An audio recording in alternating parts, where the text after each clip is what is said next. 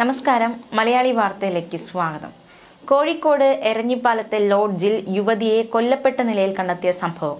ഈ സംഭവവുമായി ബന്ധപ്പെട്ടുള്ള അന്വേഷണം പോലീസ് ഊർജിതമാക്കി. വാടകയ്ക്കെടുത്ത കാറിലായിരുന്നു കൊല്ലപ്പെട്ട യുവതിയുമായി പ്രതി ലോഡ്ജിലെത്തിയത്. പിന്നീട് അവിടെ നിന്ന് പ്രതി കടന്നു കളയുകയും ചെയ്തു. എന്തായാലും ഇതൊരു കൊലപാതക കേസാണ്. ഇതിൽ അന്വേഷണം തുടരുകയാണ്.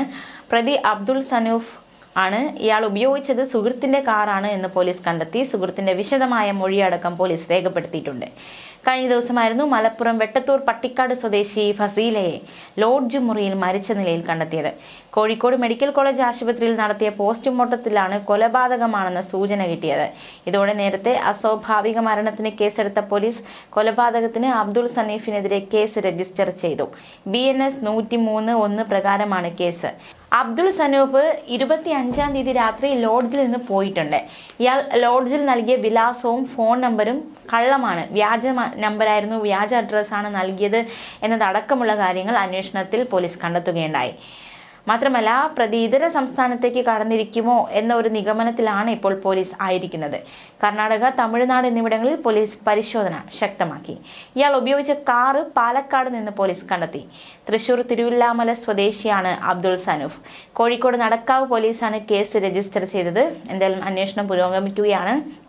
പ്രതിക്കെതിരെ കഴിഞ്ഞ ദിവസം ലുക്കൌട്ട് നോട്ടീസ് പുറപ്പെടുവിച്ചിരുന്നു. പ്രതിക്ക് പാസ്പോർട്ട് ഇല്ല എന്നും പോലീസ് കണ്ടെത്തി. എന്തായാലും പ്രതി ഇപ്പോൾ കേരളം വിട്ടു എന്ന സൂചനയാണ് കിട്ടുന്നത്. തിരുവില്ലാമല സ്വദേശി അബ്ദുൾ സനൂഫാണ് കേരളത്തിൽ നിന്ന് കടന്നു കളഞ്ഞതായി പോലീസ് കരുതുന്നത്. എന്തായാലും ഇയാൾക്കായി പ്രതിക്കായി അയൽ സംസ്ഥാനങ്ങളിലേക്കും പോലീസ് തിരച്ചിൽ വ്യാപിപ്പിച്ചിരിക്കുകയാണ്. ഇയാൾക്കായി വാണ്ടഡ് നോട്ടീസും പോലീസ് പുറത്തിറക്കിയിട്ടുണ്ട്. ശ്വാസം മുട്ടിച്ചാണ് യുവതിയെ കൊലപ്പെടുത്തിയതെന്നാണ് പോസ്റ്റ്മോർട്ടത്തിലെ കണ്ടെത്തൽ. മുപ്പത്തഞ്ച് വയസ്സുകാരിയായ ഹൗസിൽ ഫസീലയാണ് ലോഡ്ജ് മുറിയിൽ മരിച്ച നിലയിൽ കണ്ടെത്തിയത്. സനൂഫും ഫസീലയും ഞായറാഴ്ച രാത്രി പതിനൊന്നിനാണ് മൂന്ന് ദിവസത്തേക്ക് ലോഡ്ജിൽ മുറിയെടുത്തത്. ലോഡ്ജ് ജീവനക്കാർ ചൊവ്വാഴ്ച രാവിലെ നോക്കിയപ്പോഴായിരുന്നു യുവതിയെ മരിച്ച നിലയിൽ കണ്ടെത്തിയത്. മുറി പുറത്തുനിന്ന് പൂട്ടിയ നിലയിലായിരുന്നു.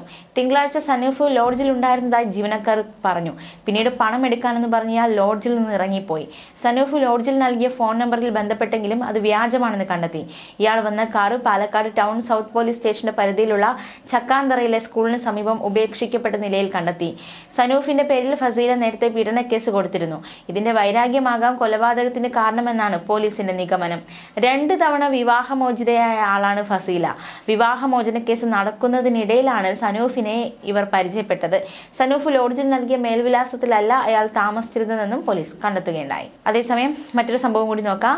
ബംഗളൂരുവിൽ വ്ലോഗറായ യുവതിയെ അപ്പാർട്ട്മെന്റിൽ കൊല്ലപ്പെട്ട നിലയിൽ കണ്ടെത്തിയ സംഭവം കഴിഞ്ഞ ദിവസം നമ്മൾ അറിഞ്ഞിരുന്നു. പ്രതിയെന്ന് സംശയിക്കുന്ന യുവാവിനായി തിരച്ചിൽ പോലീസ് ഊർജിതമാക്കിയിരുന്നു അസം സ്വദേശിനി മായ ഗോഗോയാണ് കൊല്ലപ്പെട്ടത്. കണ്ണൂർ സ്വദേശിയും മായയുടെ കാമുകനുമായ ആരവിന്റെ വീട്ടിലടക്കം കഴിഞ്ഞ ദിവസങ്ങളിൽ പോലീസ് പരിശോധന നടത്തിയിരുന്നു. ആരവിന്റെ കണ്ണൂർ വട്ടക്കുളത്തെ ബന്ധു വീടടക്കം പരിശോധിച്ചിരുന്നു. പ്രതിയെക്കുറിച്ചുള്ള കൂടുതൽ വിവരങ്ങൾ ശേഖരിക്കുകയാണ് എന്നതടക്കമുള്ള വിവരങ്ങൾ കഴിഞ്ഞ ദിവസം പുറത്തു വന്നതാണ്. കേസിൽ കർണാടക പോലീസ് കേരള പോലീസിന്റെ സഹായം തേടിയിരുന്നു. മായയെ കൊല്ലാൻ ആരവ് നേരത്തെ പദ്ധതി ഇട്ടു എന്നതടക്കമുള്ള വിവരങ്ങളൊക്കെ പുറത്തു വന്നതാണ്. ന്യൂസ് ഡെസ്ക് മലയാളി വാർത്ത.